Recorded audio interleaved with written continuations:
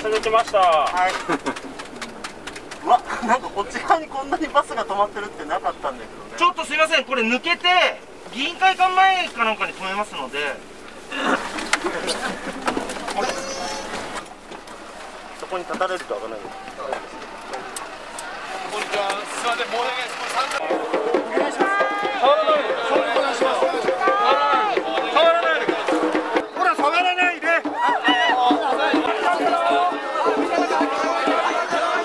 ください。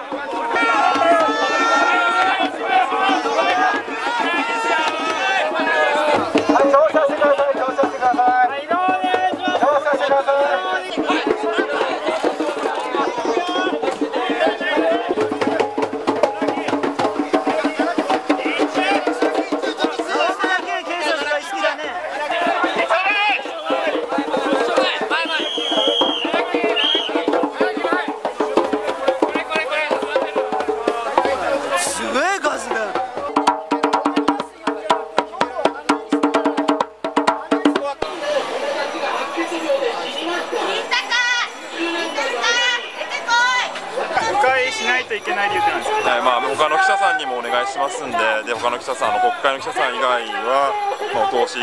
もできないという、そう言われてますんで、我々としてはそれを守るしかないんですよ。はい会記者証がないと、その要するにまあここの衆議院会館の前から総理官邸までこう行けないっていうことですよね、国会記者会以外のメディアはここを渡れないってことですあの何もうなずきもしないと分かんないんですけど、あのまあ、あの言われた通りのことです、言われた通り、ええ私が言われた通り断層を調べろ。今すぐ調べろ。行為を止めろ。止めてから調べろ。断層を調べろ今日どうしてここの経産省であのやろうと思われたのか、ちょっと狙いと理由を。まあ、あの官邸前の行動が、えーとまあ、非常に盛り上がっている中で、まあ、警察による分断というのがあって、で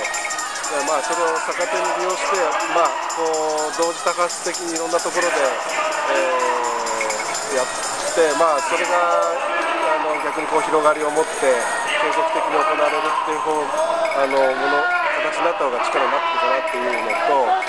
となかなか官邸まで近づけなくてあのアピールができないって方は多くいらっしゃるみたいなこともしましたので、まあ、あのそういった場があちこちまたあってもいいんではないかと思いましてそれで、まあ、一つ別館前というのでやってみますかっていう感じ。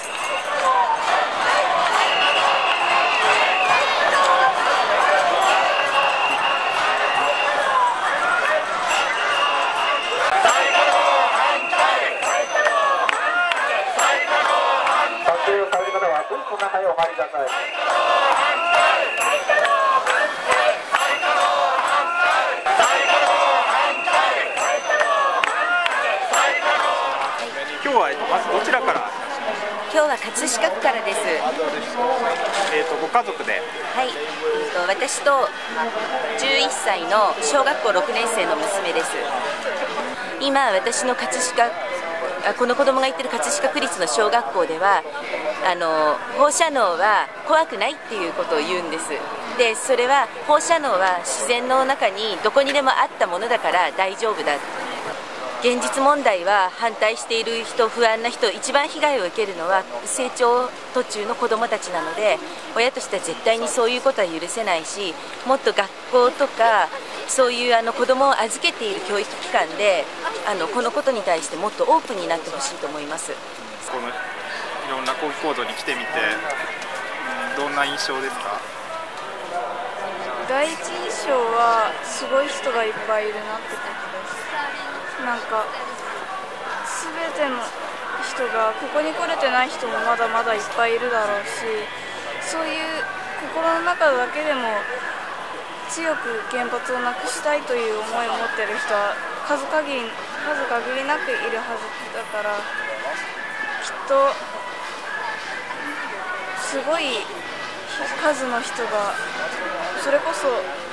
小学生の私に想像もつかないくらい多くの人たちが原発をなくすことを望んでいることです。どうしても政府の言うことばっかりにしていたら国民も国を信頼しないはずだからそれは政府としても絶対に困ることであって一時しのぎとして経済経済のこととかそういうことを考えていても将来的には絶対に困ることであるからそういうことを伝えたいです。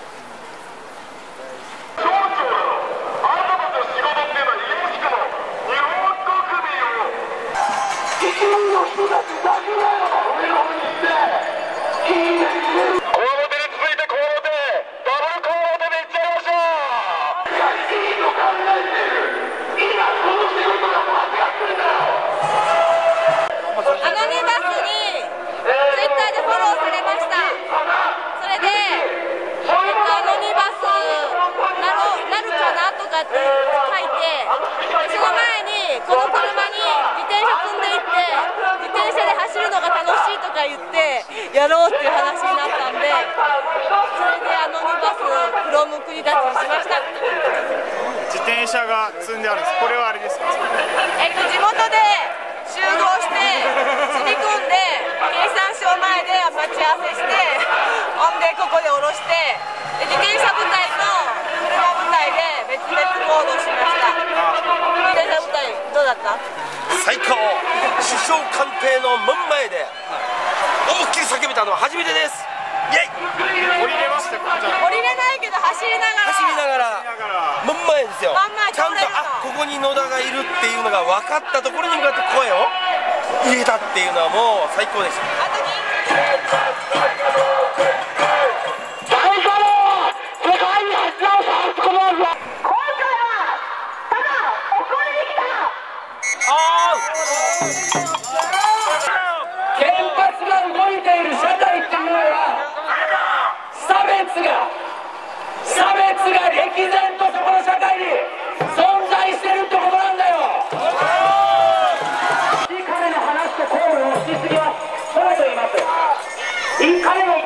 別今一番差別されてるのは福島の人たちですこれは放射能を放射能差別をされている全国でされているというのももちろんあるけれども今福島に住んでいる人たちがその中で差別をされているつまり彼が言った被爆労働者福島の収束作業をしている人たち自身が8割が福島の人たちなんだよそしてその人たちが東京電力東芝日立つまり加害者に雇われて収束作業をさせられている。被害者が加害者に雇われて他に仕事がない状態にさせられたから余計さらに被爆をさせられながら原発の中で働いているのが今の現状なんだ。